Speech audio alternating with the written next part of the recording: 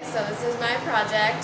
We're going to start up there and we're going to go from wind energy to gravitational as the ball drops into the pipe, down, down, to gravitational again to the drop, down, down, down, kinetic to when it hits the string, kinetic, hits the ball, kinetic, gravitational, and it drops into the basket.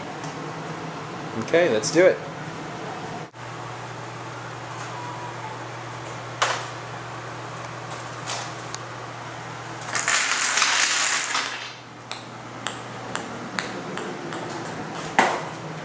Yay! Yay!